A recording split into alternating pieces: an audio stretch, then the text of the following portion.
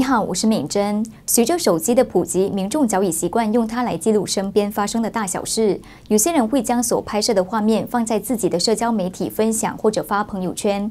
不过，许多人并不知道，当拿起手机随手拍摄和录影时，如果使用不当的话，很可能会遭到法律对付。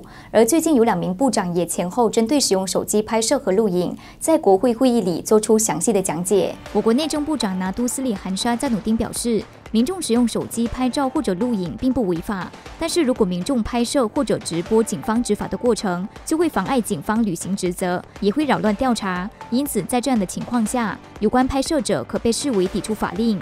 另一方面，掌管国会及法律事务的首相署部长拿督斯里旺朱乃迪说，目前并没有任何条规禁止国人携带手机进入投票站，甚至在投票站内使用手机。无论如何，选委会早前已劝告选民不要使用手机拍摄选票，否则可以在选举犯罪法令下被提控。如今几乎人人都有一部手机，手机拍照早已司空见惯，随意拍摄的画面或视频，有时也能成为第一手证据的材料。有鉴于此，陆路交通局也鼓励民众使用 e 阿端 A。JPG 应用程式向有关当局举报违反交通规则的行为。谢谢收看，我是美珍。更多的新闻资讯，请继续留守陪伴着你的 TFM。